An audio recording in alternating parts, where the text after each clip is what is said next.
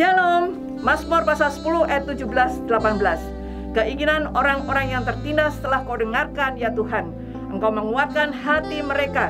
Engkau memasang telingamu untuk memberi keadilan kepada anak yatim dan orang yang terinjak supaya tidak ada lagi seorang manusia di bumi yang berani menakut-nakuti.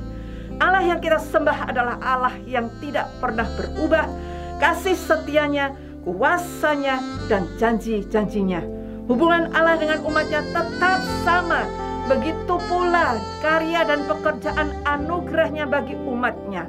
Oleh karena itu tetaplah teguh menyimpan keadilan dalam ibadah kita dan menyerahkan perkara-perkara hidup yang menindih kepada Allah, tetaplah percaya bahwa Allah akan membela perkara kita dengan keadilannya.